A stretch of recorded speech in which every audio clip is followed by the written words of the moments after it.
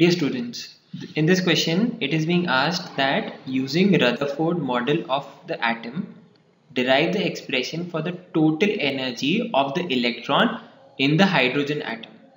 And uh, it's also saying ki what is the significance of total negative energy possessed by that electron. So now just uh, let's kind of visualize what is happening here. So we say this is the, the nucleus which has a positive charge here and uh, electron uh, is performing a circular motion about this. So definitely it is it is moving with a velocity v and uh, in a circular circular orbit. Now because it is doing circular motion it has some kinetic energy and because of electrostatic potential energy between uh, this charge and this charge there is uh, uh, the electrostatic potential energy also. So let's try to compute both of them. So let's see. So here first of all the Rutherford model of atom considers the atom as an electrically neutral sphere consisting of a very small massive and positively charged nucleus at the center. Surrounded by the revolving electrons in their respective dynamically stable orbits. The electrostatic force of attraction see the electrostatic force of attraction is equal to uh, uh, the centripetal force. Like this is the this is the force of attraction which is providing the centripetal acceleration for it to perform circular motion.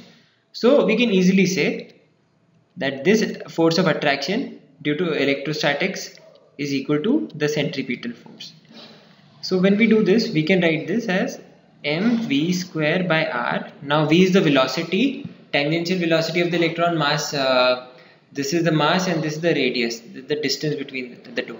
So we write it mv square by r is equals to, this is the centripetal force is equals to the um, 1 upon 4 pi epsilon naught. Now this is the Coulombic force between uh, the two charges E square by R. So here R and R gets cancelled and we get the value of R as R equals to E square upon 4 pi epsilon naught m v square. Now we know that the kinetic energy is half mv square. So let's calculate what is the potential energy here. So from this equation we can say that half m v square is nothing but equal to e square upon 8 pi epsilon naught r.